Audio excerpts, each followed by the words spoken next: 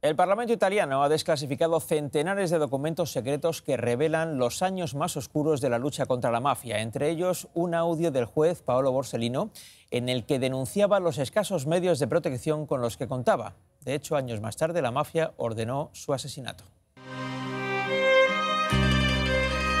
Eran años difíciles para luchar contra la mafia. El Parlamento italiano ha desvelado cientos de documentos, horas de escuchas y este audio. Solo hay suficientes coches blindados para escoltarnos por las mañanas. No entiendo qué sentido tiene perder mi libertad cada mañana si por las tardes cualquiera puede asesinarme. Es el juez Paolo Borsellino. Se quejaba de la falta de seguridad. En 1992 fue asesinado en un coche cargado con 100 kilos de dinamita.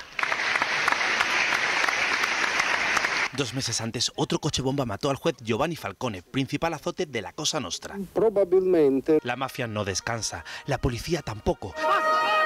El último golpe, este operativo en Sicilia con 19 detenidos del clan Incerilo. En Roma saben que tras las mansiones y los coches de gran cilindrada se oculta la venta de droga y la usura de los Casamónica. Nadie denuncia.